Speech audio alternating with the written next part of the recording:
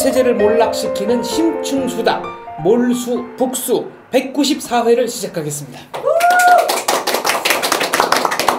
제목에 대한 한자 설명을 드리면은요. 북수는 북한의 수괴. 아, 몰 몰락시키는 수 한수 네. 북한의 수괴를 몰락시키는 한수입니다.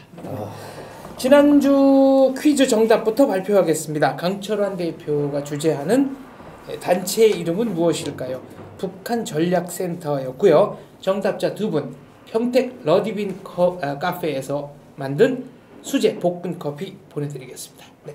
오늘의 초대 손님 주선화 기자 외에 안찬일 교수님과 주승현 교수 두 분을 모셨습니다. 네. 반갑습니다. 반갑습니다. 안찬일 교수님은 국립 한경대 대학원 교수시고 79년에 탈북을 했고, 네. 우리 주승현 교수는 이따 이제 그 제가 따로 소개를 하겠지만 2002년에 그 노크 귀순의 네. 바로 그 당사자죠. 네. 오늘의 주제는 최근에 북한에 몰락이 임박할 것 같은데 이 북한의 몰락을 가속화시키는 방법이 있다면 뭐가 있을까? 글쎄, 이거 처음부터 상당히 어려운 뭐 너무 세게 나가는 건가요? 뭐 여러 가지 방법이 있다고 보는데요. 어쨌든 저는 북한의 수명을 지금 한 1년 내지 2년 정도로 네. 생각하고 있습니다. 그러니까 요 1년 2년으로 보는 이유가 있는데 우선 1, 2년 안에 김정은이가 핵이나 SLBM을 다 가지고 그 다음에 이제 그 다음 단계인 경제를 챙기는 네. 어, 중국식 시장 경제로 간다면 북한은 1, 2년 안에 안전하게 갈 수 있습니다. 그러나 그 과정까지 아직 시간이 많이 남았고 그 준비에 대한 유엔의 제재는 가속화될 것이고 그렇기 때문에 북한이 과연 그런 1, 2년의 과정을 잘 넘어서 개혁 개방으로 갈지 안 갈지 그래서 그 전에 어, 몰락의 위기는 항상 상존한다. 저는 네. 그렇게 보고 있습니다. 주 교수는 어떻습니까? 네, 저도 대체적으로 우리 안 박사님 네. 의견에 동감하지만 사실은 몰락의 징후가 있느냐 그리고 징표가 무엇이냐를 네. 좀 우리가 그걸 밝힌 다음에 그리고 몰락에 대해서 얘기를 할 필요가 있다고 보고 있고요. 잘 아시겠지만 지금까지 뭐 북한 몰락이나 아니면 북한에 대한 이제 붕괴론이 굉장히 많이 있었습니다. 네. 근데 그러한 것들이 어, 실제적으로 또 일어나지 않았던 그래서 여기까지 왔던 어떤 부분이 있는데 그러면 그때의 이제 어떤 북한 붕괴론이 무엇을 가지고 얘기를 했었고 그러면 지금 붕괴론을 얘기한다면 무엇을 가지고 얘기를 하는지 다시 어, 점검하는 것이 어, 이 주제의 어떤 해답을 찾아가는 것이 아닐까 그런 생각도 듭니다. 아, 저는 개인적으로 그 이제 미국이 이제 최근 들어와서 그 북한에 대한 대북 제재를 더 좀 수위 높게 하고 있잖아요. 그러니까 저는 그 몰락을 앞당기는 게 저는 하층 통일 북한 말로. 그러니까 왜냐하면 주민들하고의 그런 통합이 돼야 된다. 그러자면 한쪽에서는 대북 제재를 강하게 하고 우리 시청자분들이 언젠가 북한 수다를 보고 아니 그러면 탈북자들이 개인 송금도 막아야 되지 않냐. 근데 저는 거기에 좀 약간 반대표를 던지고 싶어요. 왜냐하면 우리가 보내는 그 돈은 개인이 손으로 들어가지 정부에 들어가 정권에 들어가는 건 아니거든요. 그러면 이제 우리가 주민들이 그로 인해 가지고 경제적인 데서 그게 큰 몫을 차지하기 때문에 이제 그 경제적인 그런 부유, 부유 부익이 높아지면 정권에 대한 관심이 주민들이 떨어지게 됐어요. 그렇기 때문에 대북 제재를 강화하고 한쪽으로는 우리가 보내는 성공으로 인해 가지고 북한 주민들이 정권에 대해 더 이상 기대하지 않고 관심을 안 하게 할 하는 게 어떻게 보면 몰락으로 갈 수 있는 그런 주춧돌이 될 수 있다 이런 생각을 가져봐요. 네, 북한에 들어가는 현금. 아, 성금이요? 그, 저 거기에 대해서 할 말이 많은데요. 저는 북한에 대한 송금을 한반도형 프라이카프다 이렇게 주장하고 음, 네. 어, 조선일보의 칼럼도 크게 냈고요. 네. 왜냐? 이제 우리 저 주 선생님 말씀대로 이게 단지 그게 무슨 북한의 가족을 먹여 살리는 정도가 아니라 북한의 장마당을 확산시키고 시장 경제를 뿌리 내리게 하는 네. 이게 완전히 시드몬이다 이렇게 보는 겁니다. 프라이카프라면은 아 독일에서 서독에서 예, 이제 서독에서 동독에 정치범을 예, 돈 주고 정치범을 사온 네. 건데 그건 현찰을 집어주고 정치범을 사왔습니다. 근데 우리가 북한에 돈을 주고 정치범을 달라 국군포로 달라 북한은 죽으면 죽었지 안 준다는 말이죠. 그 대신 이 방법을 우리는 한반도형으로 바꾸자. 그래서 한반도형 Freikauf 탈북민이 송금을 해서 북한의 국경 일대를 비롯한 이 장마당을 확산시키고 뿌리 내리게 하면 그 밑으로부터의 변화를 북한 당국 수용할 수밖에 없다. 이런 측면에서 이제 한반도형 Freikauf라고 썼는데 일부에서는 그것이 뭐 북한의 어떤 당국으로 통치자으로 들어가지 않느냐, 뭐 공안 기관들이 뭐 빼앗아가지 않냐 이런 우려를 합니다만은 이것은 절대로 그렇지 않고 공안기관도 거기 와서 기생하면서 뜯어먹지만 그러니까 공안기관도 탈북자 가족을 존중할 수밖에 없고 이 사람도 그 돈이 남조선에서 온 돈이기 때문에 감사하게 생각한다 이거죠. 오히려 김정은이가 주는 돈보다 남조선에서 오는 돈을 더 많이 먹는다면 그 사람은 이남화가 되는 거기 때문에 이게 Freikauf 효과를 낸다 그렇게 보고 어, 민간 단체들이 보내는 물품은 또 조금 성격이 다를 수 있습니다. 왜냐하면은 그것은 이제 당국이 간섭하고 당국이 분배하는 그런 관할하에 들어가기 때문에 거기에 대해서는 우리가 모니터링 제도를 확실히 할 때는 보내도 되지만 그렇지 않은 거에 대해서는 좀 구분할 필요가 있다고 생각합니다. 최근에는 저희가 저희가 이제 모 단체와 손을 잡고 북한에 있는 비밀 조직으로 의약품이라든가 이런 거를 좀 들여보내고 있습니다. 네. 아, 네. 그런 부분에서는 개인에게, 네. 예, 국경에서 살다 보니까 아는데 이렇게 민간 단체에서 보낸 물품들이 될수록이면 기독교 선으로 해서 다 넘어옵니다 음. 북한에. 근데 그게 이제 우리가 보내는 개인 성금은 항해도 있는 사람도 밀수꾼이 가서 데리고 오면 성금을 받습니다. 때문에 우리가 남한에서 보내는 개인 성금은 북한 전 지역에 다 유포될 수 있는 가능성이 있지만 이거는 제한이 됩니다. 왜냐하면 북한 국경에서 밀수꾼들이 이걸 받아가지고 그 물품을 강범하게 널어놓기엔 아직 역부족이고 이자 그 안 박사님이 말씀하신 것처럼 그게 이제 우리가 모니터링이나 그런 걸 하지 않고서는 이게 전 북한 전역에서 광대한 힘이 있다, 큰 주력을 뻘친다 이렇게 말하기에는 아직은 좀 부족한 것 같아요. 아직은 네. 외부에서 들어가는 돈 그러니까 네. 정부나 국제 단체가 주는 돈 문제는 어떻게 생각합니까? 이건 절대로 주지 말아야 하는 걸까요? 어, 뭐 구호품으로 들어가는 돈을 얘기하는 겁니까? 그렇죠. 네. 근데 이제 그거에 대해서 굉장히 많은 이제 얘기들이 있습니다. 지원해야 한다는 뭐 어떤 견해도 있고 그러지 말아야 한다는 것도 있는데 사실은 민간으로 가느냐 아니면 정부가 그것을 주도적으로 이제 쓰- 씀으로써 생색을 내느냐 그런 문제의 접근이 필요한데 제가 봤을 때는 그 지원을 해주는 데서는 선의로 지원하지 않습니까? 근데 그것이 악용된다는 것이 지금까지 많은 이제 그 문제가 됐었는데 그러면 지원하는 데서 본인들이 모니터링을 할 수 있는 그러한 것들을 제의했을 때 일단 선의는 전달된다고 보고 있고요. 거기에 대해서 북한 정부가 거절을 한다면 거기에 대해서는 비판받을 수가 있다고 저는 보고 있습니다. 근데 만약에 저 이자 어, 두 분이 정확히 지적했지만 개인에게 직접 전달된다 물론도 네. 뭐 분유든 무슨 뭐 의약품이든 이런 건 개인에게 그러니까 당국이 간섭 없이 가는 거는 그것도 뭐 현금 못지않게 당연히 한반도용 프라이 카프가 될 수 있고요. 저는 그것은 필요하다. 왜냐하면 지금 북한에도 적지 않게 뭔가 반체제 조직도 생기고 있고 평양의 뭐 김일성종합대학에도 일부 또 이게 대학가 인테리들이 생기는데 국경 일대 무슨 지하 교회라든지 뭔가 자꾸 그룹이 생기는 건 분명한 사실입니다. 그게 크지 않고 사이즈가 적어서 그렇지. 그런 사람들한테 뭐 성경을 보낸다든지 무슨 찬송가를 보낸다든지 또 비누나 무슨 의약품이나 여성들의 뭐 가장 좋아한다는 그 생리대나 화장품이나 이런 걸 보내는 건 그 사람들이 그걸 받았을 때 아, 이게 우리 대한민국 상품이다. 어? 우리 우리가 이런 걸 어, 생산하는 나라가 있구나 이런 걸 알려준다는 의미에서는 상당히 그 효과가 크다고 봅니다. 지금 반체제 조직 말씀하셨는데 여기에 대해서는 뭐 들으신 게 있습니까? 반체제 조직은 그런 반체제 조직을 운영했다는 단체들이 있지 않습니까? 네. 중국에서 그것을 운영을 하다가 공안에 이렇게 발각이 돼서 음. 추방됐다 그런 단체들이 있는데 사실은 그것을 확인하기가 굉장히 어려운 부분이 있습니다. 근데 요즘 보면 아마 작년인가 되겠죠. 그 북한 내부에서 간첩으로 이제 잡힌 사람들을 기자회견을 했습니다.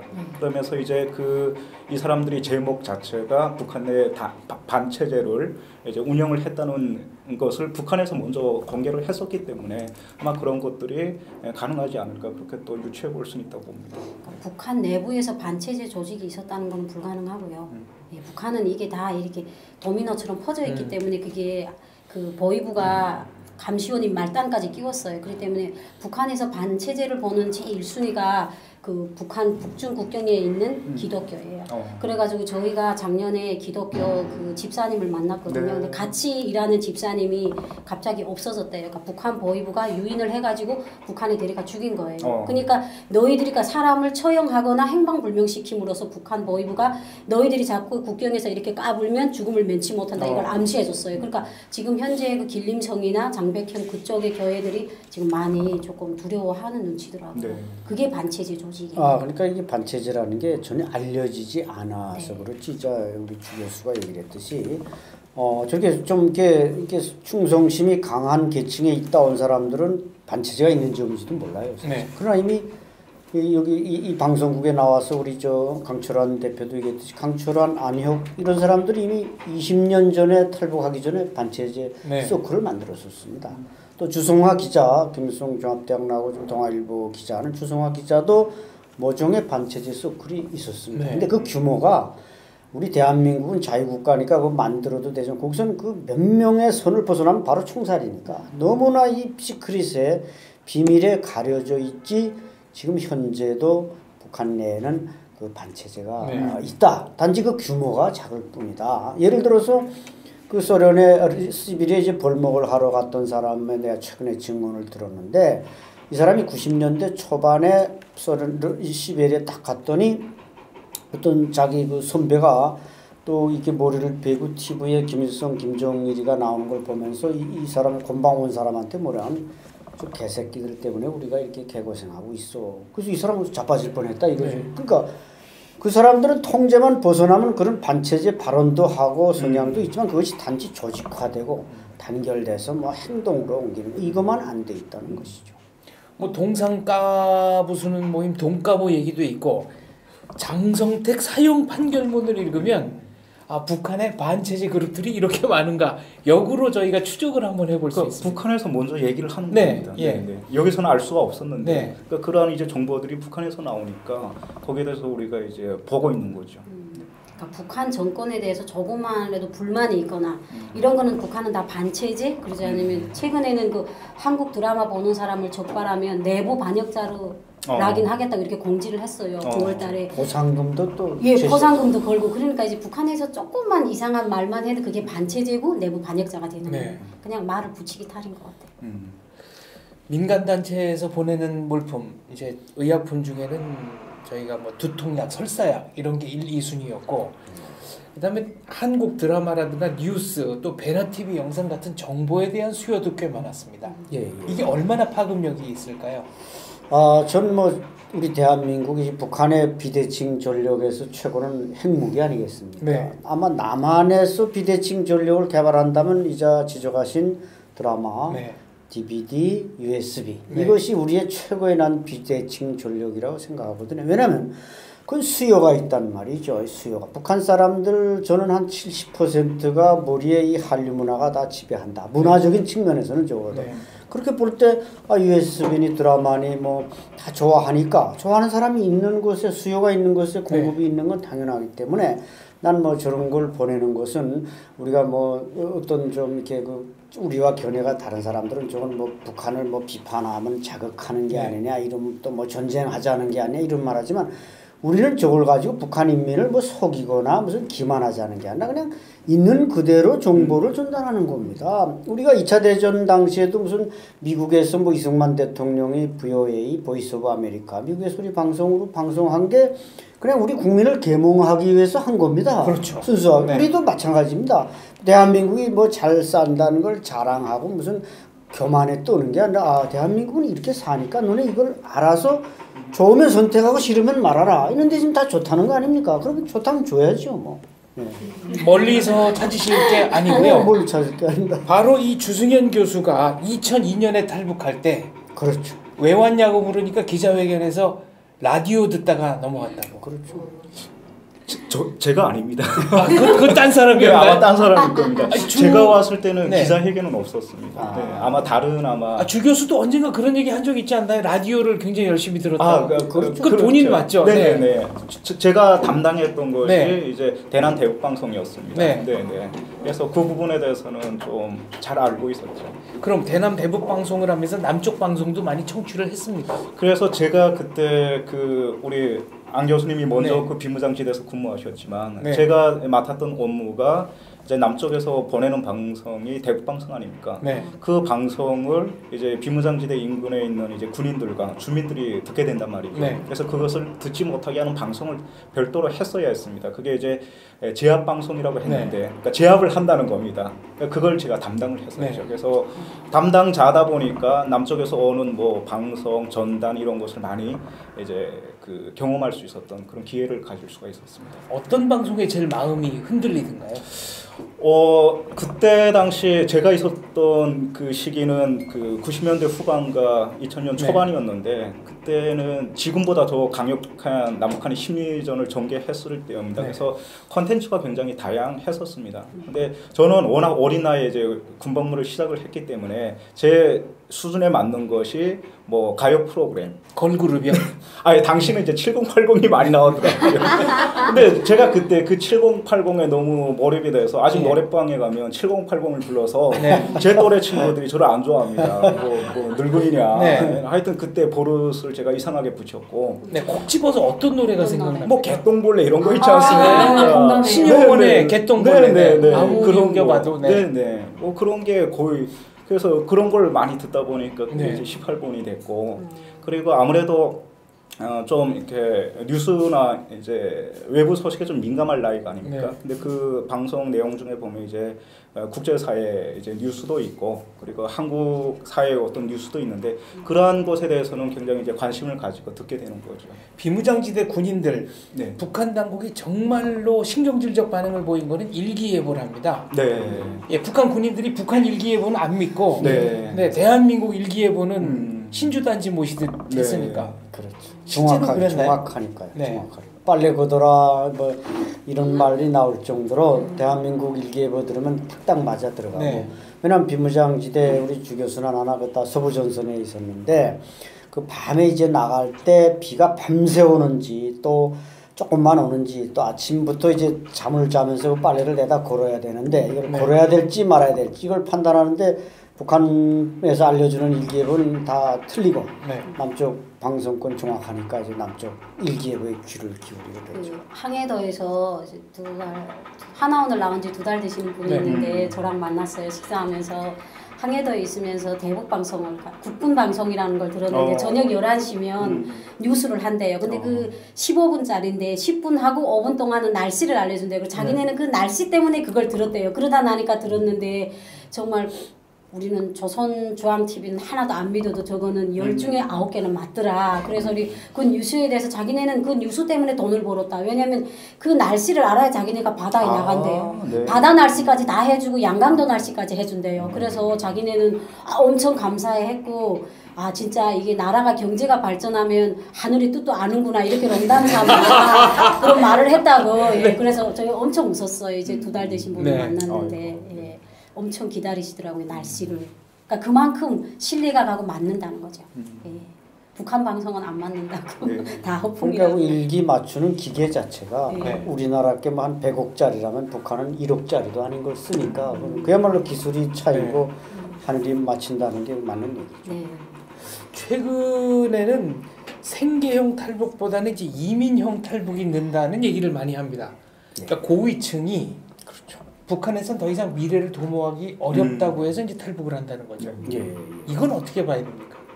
시대가 많이 변 시대가 시대가 많이 변했고 네. 그- 그만큼 이제 탈북자의 어떤 그 특성이나 유형들이 이제 변하고 있다 이렇게 볼 수가 있습니다. 잘 아시겠지만 우리 그 안 박사님이나 제 저 같은 경우는 이제 정치형 탈북자입니다. 네. 네, 그 그러니까 체제 경쟁 이전에 왔거나 아니면 휴전선을 통해서 왔으면 네. 그거는 이제 정치형 탈북자, 그러니까 귀순자라고 규정을 했는데 언제부턴가 이제 경제형 탈북자들이 생겼죠. 그러니까 90년에 이제 고난의 행군, 음. 그리고 북한의 경제가 어려워지면서 그때 배고픔, 어, 그것 때문에 오신 분들이 이제 경제형 탈북자고 그리고 나중에 많이 또 변했습니다. 그 어, 먼저 온 사람이 다른 사람을 데, 데리고 오는 유학형도 있었고 네. 그리고 이제 공부하고 싶어서 온 뭐 이민형도 있고 음. 요즘은 이제 목적형도 있고 이렇게 많이 변했는데 가장 큰 변화는 아무래도 정말 어렵게 왔던 그러니까 경제형 탈북자들보다는 지금은 어떤 뚜렷한 목적을 가지고 오는 사람들이 많다.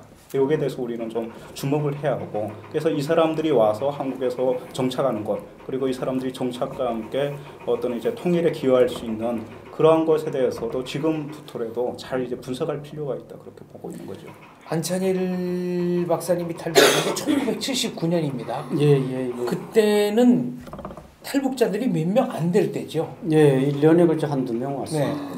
그때는 배려도 많았다고 어, 들었어요. 그래서 배려도 많았고 좋으시겠어요. 혜택이 큰데 그 요즘 오신 분들 네. 앞에서 뭐 우리 주박사도 좀 많이 받지 않았는가? 저는 교수님 저는 2000년 이후에 와서 네. 네. 거의 어, 못 받은 이런 거? 얘기를 하면 좀 음. 그렇지만 음, 거지 취급하더라고요.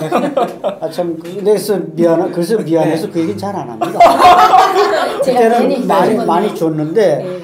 아 많이 그때는 진짜 뭐 김만철 일가 뭐 몇 분 안 됐어요. 집이란 막 줬- 어, 그 진짜 아파트도 무료로 줬고 그렇습니까? 그러니까 뭐안 보상금도 주고 작은 뭐 금바지까지도 주고 어. 혜택이 많아서 참 감사하게 늘 생각하고 있는데 요즘 오신 분들한테는 항상 미안하게 생각하고 있고 근데 이제 우리 주박 주 교수께서 그 분, 이제 뭐야 탈북의 유형을 잘 구분해 줬지만 이게 그 우리가 넘어올 때 이제 탈북자를 크게 나누면 이제 유출형이냐 유인형이냐 그러니까 네. 남한에서 유인 여인이 있어서 이제 북한에서 아. 따라온 사람이냐 아니면 그쪽 자체로 그냥 떠나지 않으면 안 되냐 근데 아까 우리 이 제목이 뭐라 그랬죠 우리 프로그램 제목이 몰수 북수. 어, 몰수 북수 북한의 수괴를 몰락시키는 어. 한수. 근데 최근에 이 유출 요인이 더 증대하고 있는데 이게 몰수북수 이게 북한이 몰락하고 있다는 증거죠.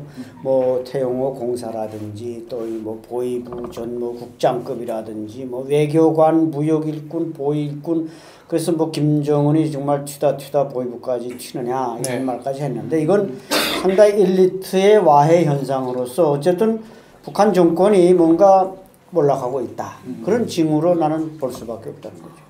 그러니까 저희가 2012년도에 그 왔잖아요 탈북을 했는데 그때가 벌써 이미 목적형 탈북이었던 것도 저희는 아줌마니까 아무것도 모르고 음. 덤덤해 왔는데 이민국 감호소에 가니까 한 300명 정도 어. 있는데 20대 아가씨들은 다 엉치를 하늘에 올리고 공부를 하는 거예요. 그러니까 거긴 책상이 없으니까 그래서 어.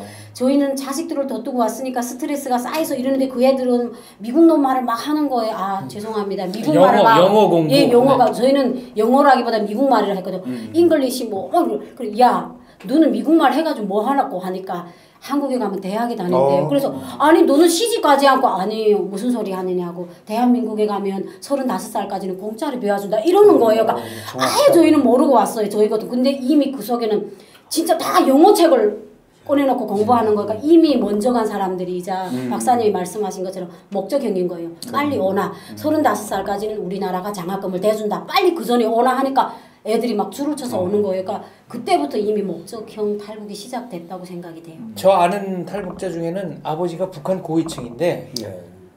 그 미술의 소질이 있으니까 서울 가서 홍대 가라고. 네. 홍대를 알고 있군요. 그렇죠. 예. 그 자기는 아버지한테 홍대 아, 듣고? 네. 아버지가 탈북 주선해줘서. 네. 어, 그러니까 이번에 홍콩에 온 이정열 군도 아버지가 수학 교사인데 네, 수학 영재. 남, 남조선으로 가라 그래서 그냥 왔는데 아주 잘 왔죠. 네. 그러니까 아까 우리 90 저 좀 오래된 그 탈북자 얘기를 해서 그때 보상을 많이 줬다고 했는데 그분들이 다 성공했는가? 아. 그렇지는 않다는 예. 거예요. 네. 돈은 많이. 받았지만 아.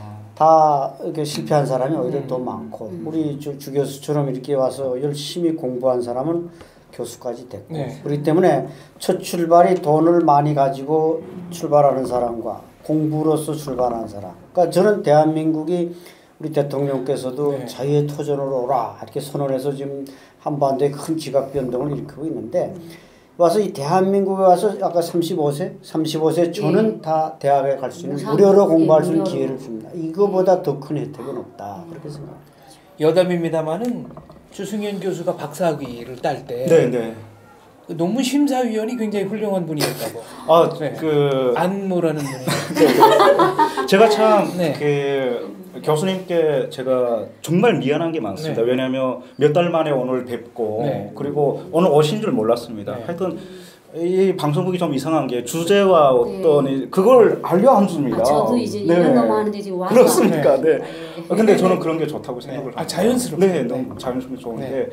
교수님께서 사실은 그 비무장지대 저희는 이제 민사행정경찰이라고 해서 민경대대입니다. 네. 그러니까 북한에서 최종의 요원들만 이제 비무장지대에 들어가는데 그 선배 대선배님이셨습니다. 음. 그리고 어, 우리 교수님께서 79년에 이제 휴전선 넘어오셨고 저는 이제 2000년 이후에 선, 선배님이 오신 그 길을 따라서 네. 넘어온 이제 후배인데 특이하게 교수님이 여기 와서 1호 박사가 되신 겁니다. 정치학 박사. 그래서 제가 그때 조사를 받을 때 어떤 분이 알려주셨어요 조사관이 네. 너 선배가 와서 박사 되고 진짜 잘 나가신다 해갖고 제가 거기서 아 공부를 해야겠다 어, 그러니까 거의 이렇게 저희 어떤 모델이 되신 분입니다. 그래서 사실은 그때 당시 나와서 뵙고 싶었지만 뵙지 못했습니다. 워낙 이제 중요한 일을 하셔갖고 그러다가 나중에 저희 제가 대학 학부를 마치고 대학원 다닐 때 저희 대학원 교수로 오셨는 겁니다.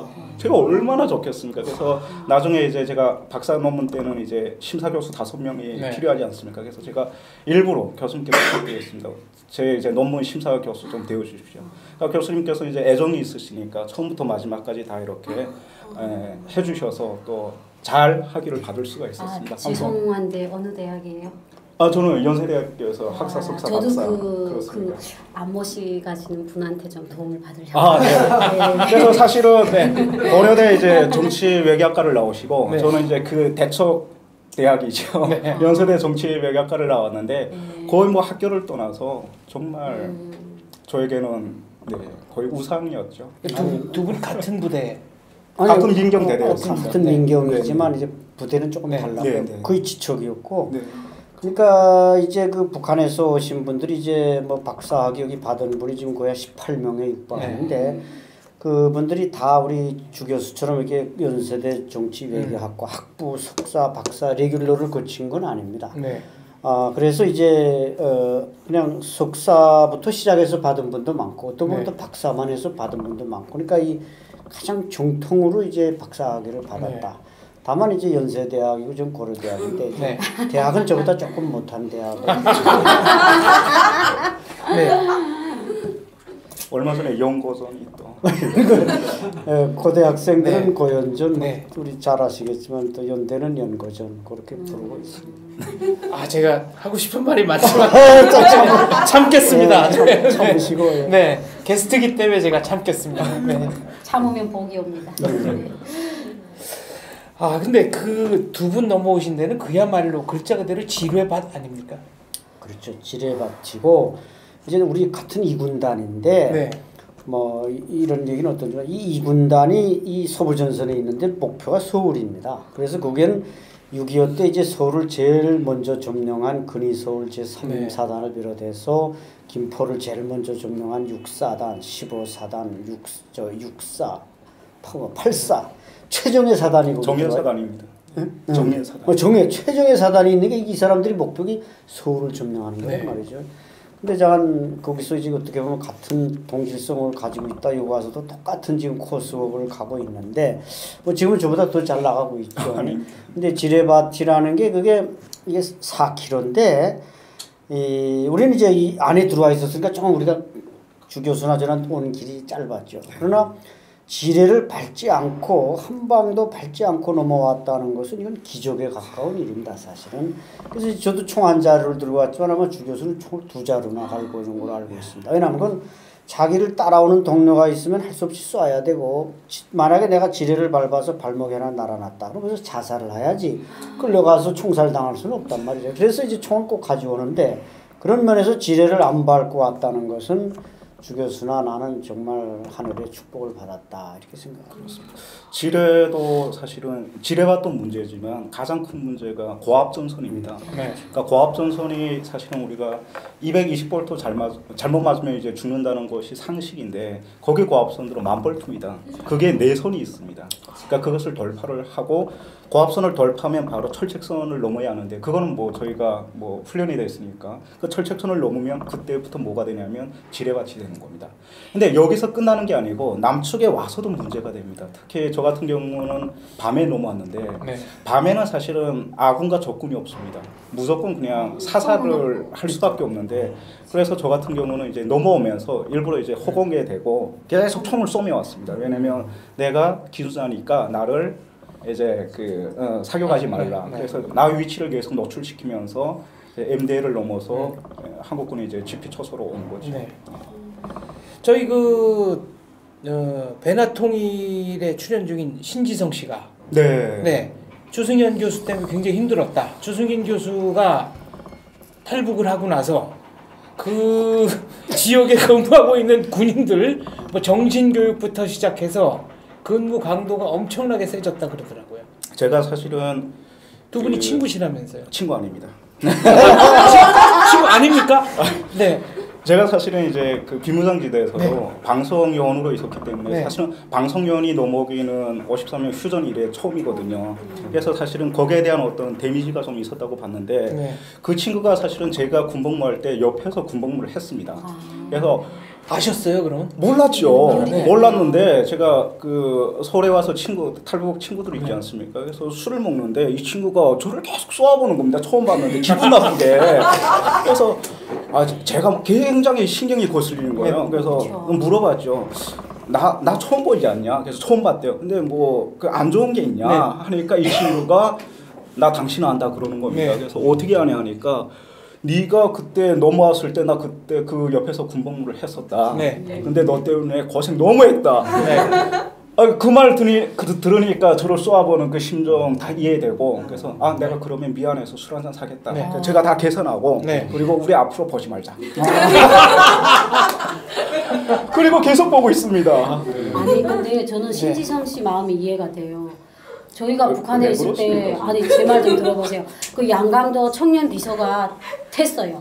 그렇지. 예, 뗐잖아요. 뗐는데 저희가 그때 강한도에서 밀수했거든요. 그래가지고 밀수품을 창고에다 다 여놨는데 검열대들이 와가지고 그 사람을 잡는다 쓰고 국경 마을을 다 쓸었어요. 가택을 저다 떼웠잖아요.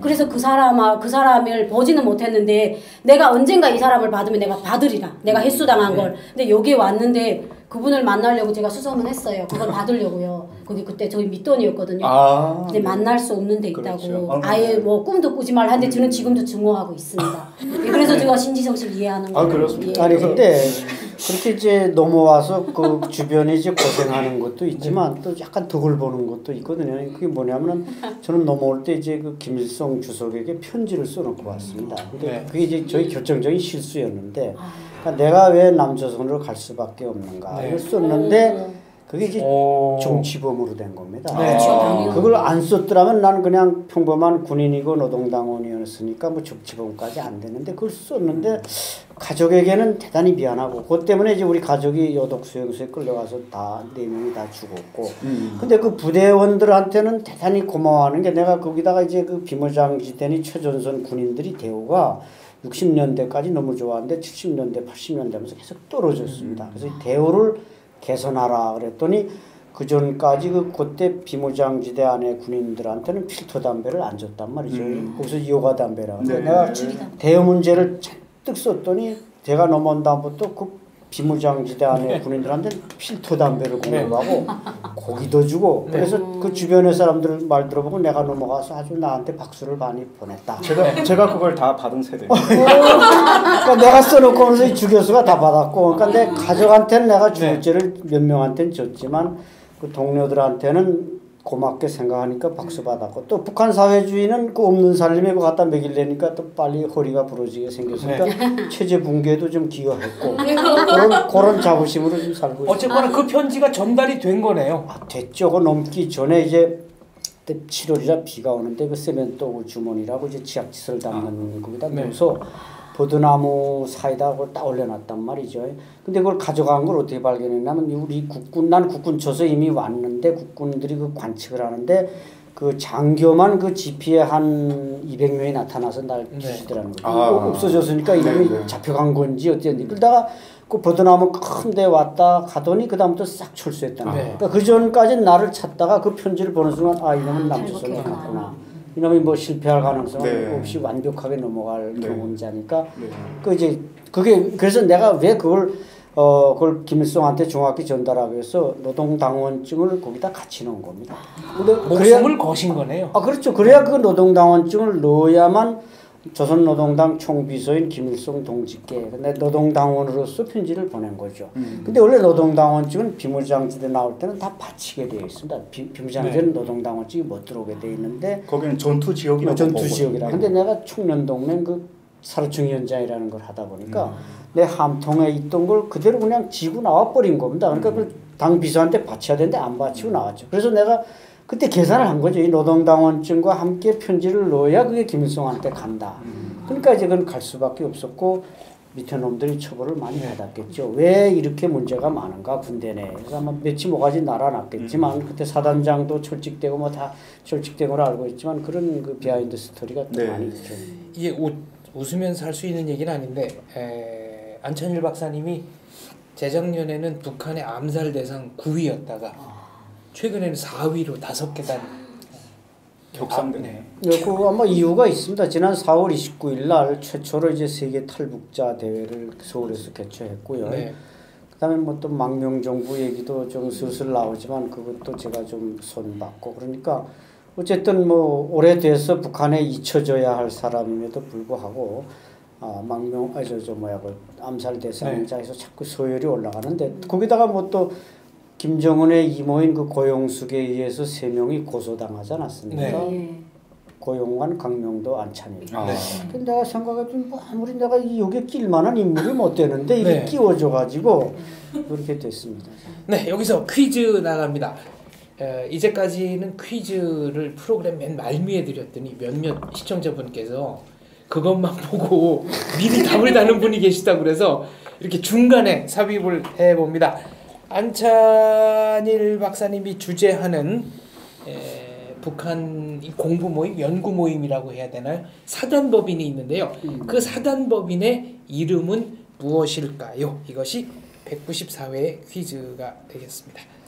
네이버 때리면 바로 나옵니다. 네. 자, 저희가 이제 북한의 빠른 몰락을 위해서 뭔가 좀 노력을 하면 이 몰락의 속도가 가속화되지 않겠는가?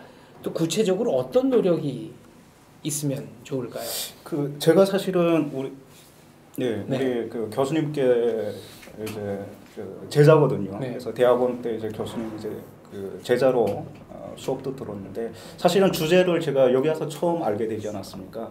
그래서 좀 교수님께 제가 먼저 좀 질문 드리고 싶은 게 사실은 몰락이나 이제 북한 붕괴론이 같은 뭐 음. 얘기일 수가 있는데 지금까지 우리 사회에서 북한 붕괴론 같은 것이 제가 알기로는 크게 네 번째 네번 정도 이렇게 거론된 걸로 알고 있습니다. 그래서 90년대 초반 동권 사회주의가 몰락했을 네. 때 그리고 94년 네, 고난의 행군. 네, 네. 그때고 2008년 네. 그리고 이, 2016년 지금 다시 북한 체제 뭐 붕괴론이 나오고 있는데 앞서 제가 말씀드린 드렸던 것처럼 그러면 북한 붕괴가 임박했다 한다면 그 징후가 여러 가지가 있, 있지 않겠습니까? 근데 물론 아까 우리 교수님께서 그 중 하나를 이제 엘리트 이제 탈북이라고 또 말씀도 하셨는데 그거 하나 가지고 북한의 몰락이 임박했다 이렇게 얘기하기는 좀 근거가 빈약한 것 같고요. 혹시 우리 그 교수님께서는 여러 가지 지표가 있을 거라고 생각을 하는데 혹시 어떤 걸로 이렇게 그렇게 보시는지에 대해서 좀 궁금했거든요.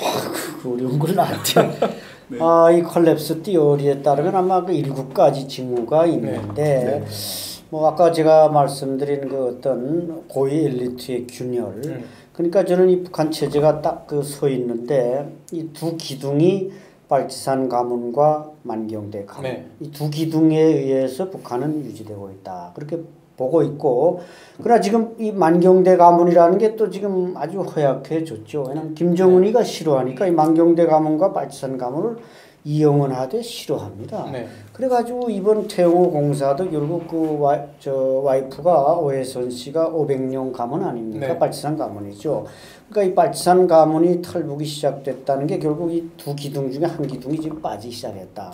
뭐 노동당 민방위 부장인 오일종 상장도 중장으로 강등시키고 또 500령 대장의 가문 오금철 전 총참모장도 대장에서 상장으로 또 그 동생인 오철산도 중장에서 소장으로. 그러니까 이건 빨치산 가문은 이제 이용 가치가 필요 없으니까 자네들은 가 쉬라. 이게 뭐 권력이 순환이라는 측면에서 상당히 바람직한 일입니다. 그러나 그 기득권을 유지한 세력이 약화되고 있다는 것은 김정은은 결국 자기 권력을 스스로 약화시키는 결과라고 보거든요. 그렇기 때문에 저는 어, 이 말하자면 엘리트 구조의 균열 이것을 이제 몰락의 가장 중요한 요인으로 보고 이제 주 교수가 지적했듯이 북한은 이미 고, 고난의 행군기에 94년 김일성 사망으로 시작된 고난의 행군기에 경제적으로는 완전히 붕괴했습니다. 북한은 경제적으로 붕괴한 건 기정사실이고 정치적으로만 지금 붕괴하지 않았는데 지금 그 유엔과 국제사회가 들러붙어서 지금 북한을 제재하고 있고 뭐 심지어 국무차관 음. 러셀은 김정은은 죽는다 핵무기를 완성하는 순간 즉각 죽는다. 이메디어트리 예. 다이. 예, 그렇죠. 그 다이가 시점이 지금 한 5, 6개월 사이입니다. 북한은 제가 볼 때 올 연말이나 내년 초 6차 핵실험하고 핵무기 완전 무장을 선언하겠지만 그럼 김정은이 아마 위태로울 겁니다.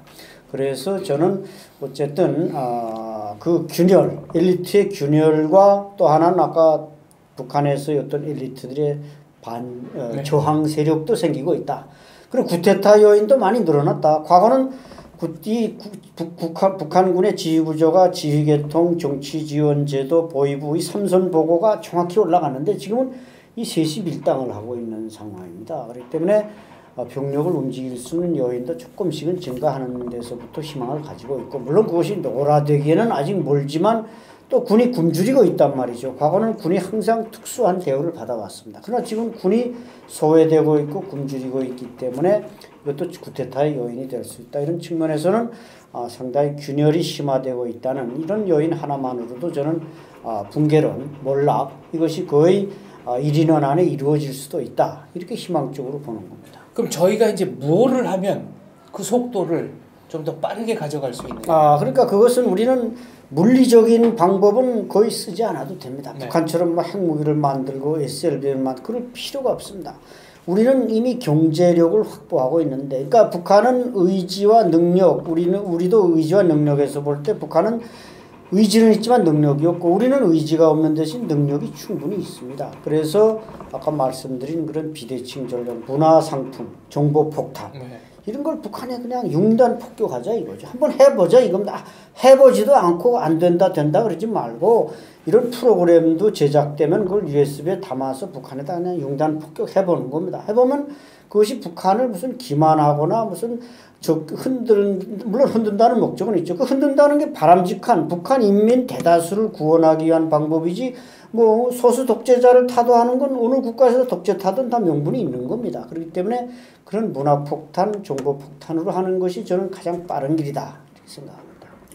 저는 개인적으로 그 우리가 지금 최선을 다하고 있잖아요. 이렇게 정보 폭탄도 하고 근데 이제 북한이라는 나라가 제한점이 있잖아요. 우리가 막막 조준경이 있어가지고 김정은이를 골라서 그렇게 저격할 수도 없는 상황이고 이러기 때문에 저희는 일단 북한 주민들이 의식을 바로 해야 된다고 생각을 해요. 왜냐하면 저희가 4년 전에 제가 북한에 있을 때고 지금도 북한하고 계속 연계를 하게 되면 핵무기에 대한 관념이 반반이에요. 아 이게 우리인데 해롭다? 그러지 않으면 이게 우리의 자강력이다? 이렇게 생각하는 사람들이 반반으로 갈려요. 그렇기 때문에 선전 그 대북이라나 우리가 라디오나 모든 일체 USB에 넘겨 보내는 그런 선전물에서 핵무기가 북한의 핵무기가 북한 주민들의 세상에서 최고인 줄만 알아요. 그러니까 그런 인식을 똑바로 해준다는 게 당신이 소유하고 있는 무기는 핵무기일 뿐이다. 그 핵무기를 보유하고 있는 나라가 세상에도 많다. 그러니까 북한의 핵무기에 대한 그런 걸 낮춰야 돼요. 근데 북한 주민들은 북한 핵무기가 땅 터지면 지구는 없다 이렇게 생각을 하거든요. 그러니까 북한 정권이 잘못된 그런 선전에 의해서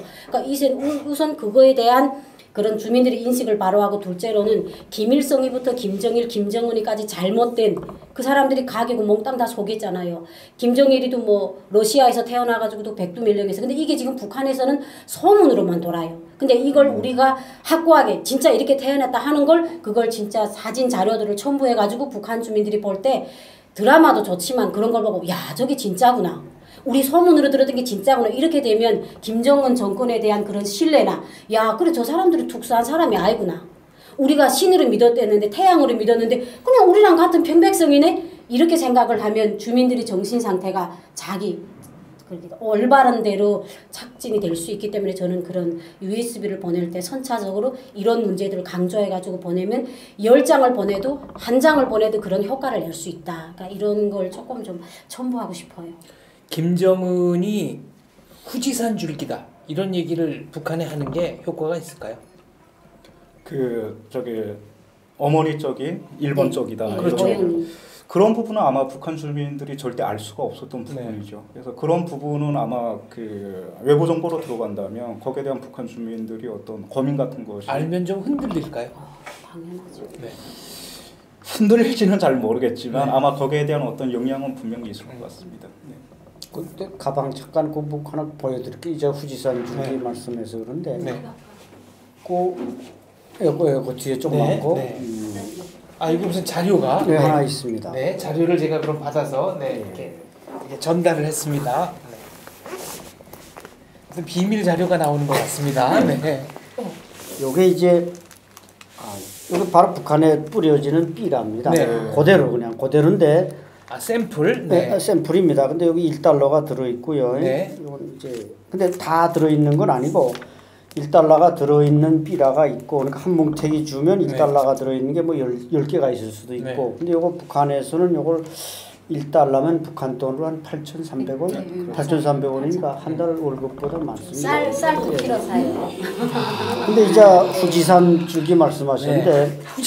요게 이제 최근 년간에 개발된 새로운 패러다임의 네. 대북 삐랍니다. 여기 풍선을 통해 날아가는 건데 여기 이제 김정은의 어, 어머니가 네. 고영이가 후지산 줄기다. 네. 그런 내용으로 돼 있는 이게 이제 모략 심리전 패러다임을 이용한 거라 네. 딱 북한에서 만든 책과 똑같이 만들었기 때문에 어, 활자도 딱 네, 북한. 활자도 해서 유일 사상 책의 네. 한입이 10대 10대 원칙 원칙 아, 그 비슷한 거죠. 그래서 저도 많이 이제 봤어요. 읽어보다가 들켜서 보이분이 와도 음. 당신 뭘 봐? 그러면 뭐 이상한 게 있어 보고 있습니다 해도 아. 잡아는 못 가게 네. 되는 그렇죠. 건데 책인 줄 알고. 그러니까 이게 임팩트가 이제 후치산 줄기 말씀하셨던 임팩트가 얼마나 세냐면은 요게 2014년 8월 15일부터 북한에 뿌려지기 시작했고 네. 그래서 그때 10월 10일 날 요게 날아갈 때 어, 북한의 이군 단장 우리 우리 이게 상 상사지부 사람이 여기를 향해서 고사기관총을 쏘았습니다. 이 삐를 향해서. 그리고 그 전에는 아, 황병서, 최용해, 네. 김양권, 삼인방이 인천에 뭐야 그 김정은 전용기를 타고 내려왔죠. 네, 인천 아시안 게임. 게임 할 때. 네. 그때 왜 내려왔는지 아직 모르는 분들이 많은데 이것 때문에 내려왔습니다. 그래서 우리 김관진 실장을 만나가지고 그때 그 사람들이 인천으로 다 나가지 않았습니까? 네. 6.일제 통일부 장관에 싹다 나갔는데 그때 뭐 박근혜, 김정은만 빼놓고 수뇌부가 다 모였다고 할 정도로 남북한의 정, 수뇌부가 마주 앉았는데 비밀, 가장 비밀스러운 건 요거 좀 제발 뿌리지 말아달라. 아 이게 그만큼 예, 타격이. 예.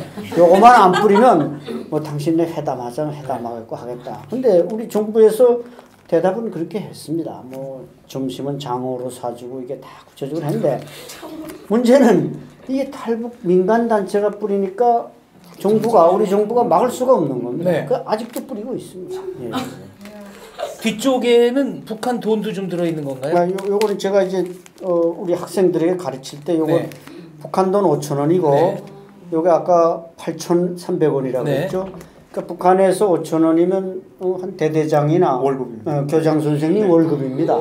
근데 1달러가 들어 있으니 이게 교장 선생님 월급보다 많은 돈이 이 안에 들어 있으니까 이. 황해도 사람들은 네. 올 말쯤 되면 야 우리 월급 타러 가자. 그런데 그게 사, 어디로 가냐면 산으로 올라간다. 사서 이거 하나 주면 한 달 월급이 되는 겁니다. 근데 간혹 여기에는 1달러만 들어있는 게 아니라 5달러도 들어있고 심한 경우 10달러도 들어있습니다.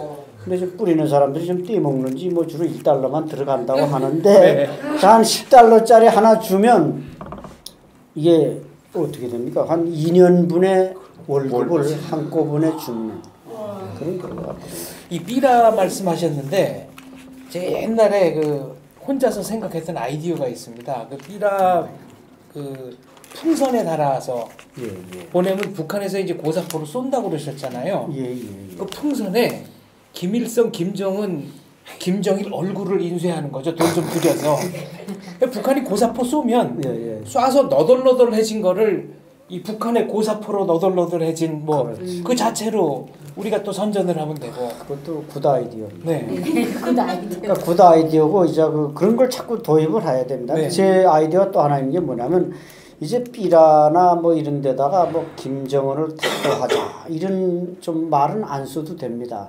김정은을 도와주자 그렇게 네. 써야 된단 말이에요. 왜냐하면 그래야지 인민들이 보고 그 내용도 적어야죠. 왜냐하면 아, 김정은이 인민들이 배가 고파서 잠을 못 주무신다는데 우리가 좀 도와드리려고 네. 합니다. 하면서 이제 거기다 뭐 스타킹도 보내고 네. 생리대도 보내면 북한 주민들이 얼마나 좋아하겠냐 이거죠.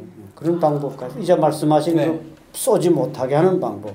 그다음에 뭐 김정은 타도하자는 말 굳이 쓰지 말고 도와주자 이런 말로 써서 이런 걸 보내면 그 사람들이 이 생각이 바뀌면 mentality가 바뀌면 그 사람들이 생각이 바뀌면 그 체제에 순응할 수가 없는 거죠. 그러니까 이런 책에 김정은이 후지산 줄기다라는 얘기를 자세하게 쓰고 아주 자세하게 썼어요. 네. 그다음에 이제 맨 마지막에는 예. 이런 얘기들이 자꾸 국내외에서 나오고 이 얘기가 사실이면은 틀림이 없지만 음. 그러나 이게 인민 생활과 무슨 상관이 있다는 말이냐 네. 이렇게 한 줄만 딱 넣어도 그렇죠. 네, 북한 주민이 나는 이 마지막 한 줄 때문에 이 책을 봤다. 그렇죠. 바로 예. 그런 게 심리전의 아주 다양한 방법. 그러게요. 그 밖에는 또 어떤 노력이 있을까요? 아주 구체적으로. 우리, 저 네. 젊은 신세대에 맞는 뭔가 또 패러다임이 있었겠네. 뭐 지금까지 북한 체제 어떤 변화를 견인하는 것은 어, 외부 정보 유입이다. 이것은 많은 사람들이 이제 공감하는 것 같고요. 네. 근데 여기서 좀 우리가 다시 짚고 넘어가야 할 것이 우리가 냉전 시대도 보냈고 지금은 분단 시대 아닙니까? 그래서 끊임없이 남북한은 심리전을 해 왔었습니다. 그리고 심리전의 다양한 방법들이 개발이 됐었는데 그것이 지금까지 안 했다는 것이 아니고 계속해서 해 왔었고 그리고 시간이 지날수록 강화되었는데 어느 정도 그러면 북한 주민들에게 영향을 미쳤냐를 다시 점검을 해야 한다는 네. 겁니다. 그리고 그러면 콘텐츠에 문제가 없는지 그리고 지금까지 지속해온 심리전의 방법에는 문제가 없는지 다시 에, 짚어봐야 하고 제가 얼마 전에 듣기로는 그 북한 주민들이 이제 한류나 남한의 어떤 정보를 보면 이런 얘기를 하면서 본다는 겁니다. 보면 서 저거는 뭐 드라마에서 이제 뭐 화려한 장면이 나오면 저거는 우리를 겨냥해서 일부러 만든 거다.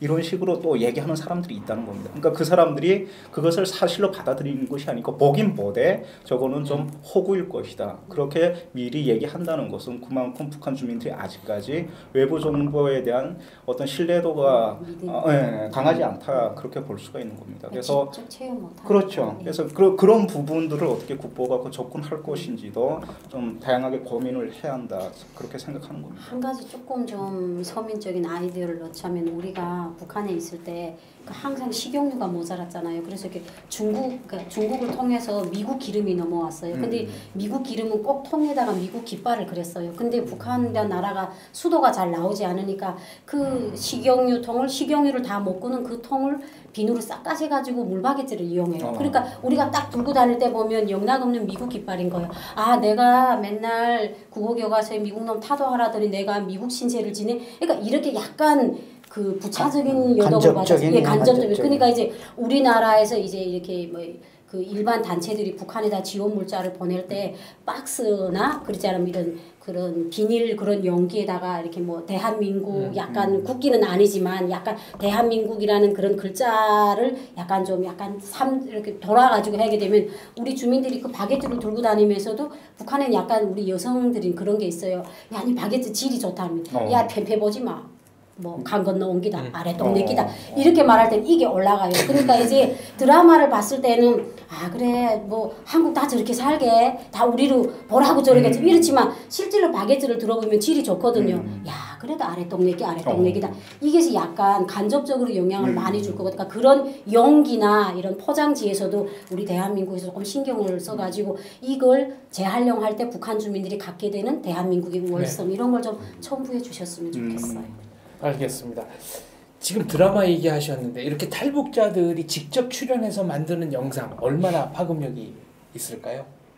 글쎄 북한 주민들이 본다고 아무래도 하면. 이제 다른 사람보다는 뭐 남쪽에 뭐 더 멋있고 세련된 사람보다는 이렇게 탈북자들이 나와서 직접 얘기를 하는데 뭐 이제 다 두 분 들어봤지만 뭐 거짓이 없다는 걸 그건 수- 뭐 지어낼 수 없는 얘기라는 걸 안단 말이죠. 그래도 두 분 다 세련된 어, 그 세련은 네. 됐는데 네. 그 대화 내용.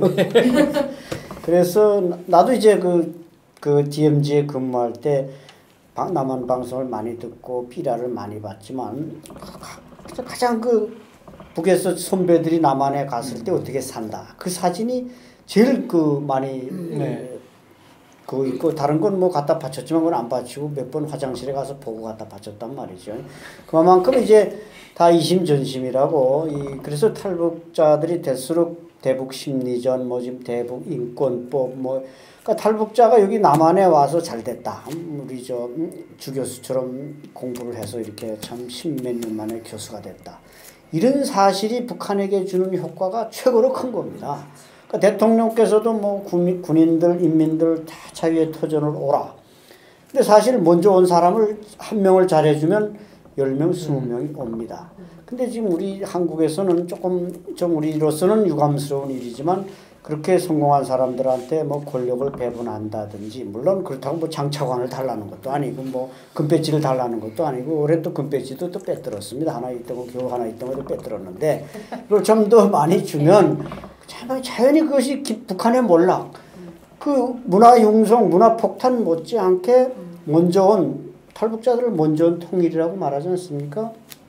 먼저 온 통일을 잘 이렇게 대우를 해주면 북한에서도 다 눈이 이쪽으로 쏠리지. 김정은이한테 뭐 아무리 충성해봤자 그 핏줄기끼리 계속 해먹는데 그 자리가 아- 안 나는 거 아닙니까? 북한이라는 체제. 그러나 우리 대한민국은 자유국가이면서도 특히 통일이라는 전제가 있기 때문에 먼저 온 통일을 탈북자들은 말로만 먼저 온 통일이라 그러지 말고 좀 이렇게 대우를 조금 더 잘해주는 게 난 그 또 북한 몰락의 하나의 중요한 변수라고 생각합니다. 안찬일 교수께서는 그러면은 고 이웅평 중령 예. 넘어올 때는 이웅평 대위였습니다. 대위였죠. 죽, 죽을 때는 아 사망할 때는 저 대령이 대령, 네 이웅평 대령, 네. 그럼 이웅평 대령 다- 얘기를 직접 북한에서 알고, 아니 고 고보다 내가 몇 년 더 선배고 네, 그래서 그 친구하고 나이가 이제 내가 똑같고 근데 여기 와서는 그 친구가 훨씬 저 음. 높은 거 아닙니까 나는 바닥이고 그래서 이제 그 친구가 네 나 이웅평 대위는 비행기를 몰고 오셨으니까 높은. 아 당연하죠 그래서 높으니까. 어 둘이 이제 테니스도 치고 아, 뭐늘 그래서 네. 이제 또 근데 그 친구 학교에서는 나보다 한참 후배고 음. 네. 저 내가 고려대 종회과 다니니까 지금 중앙대도 종회과를 아, 편입하고 네. 석사하고 근데 안 박사 너처럼 죽, 죽기 전에 박사한다 그러다 네. 박사도 못하고 죽었습니다. 2002년에 응. 가남으로 들어갔어요. 아까운 친구. 예. 아유, 이웅평 대령도 79년 82년, 80, 83년, 83년인가요? 아, 그렇습니다. 83년이군요. 그렇습니다. 2월 25일 날 네. 넘어왔습니다.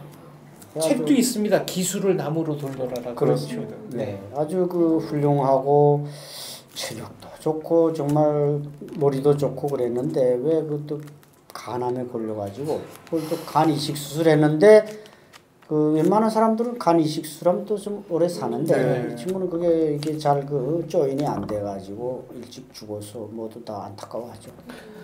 알겠습니다. 안찬일 교수님이 하신 이 삐라 이거는 네.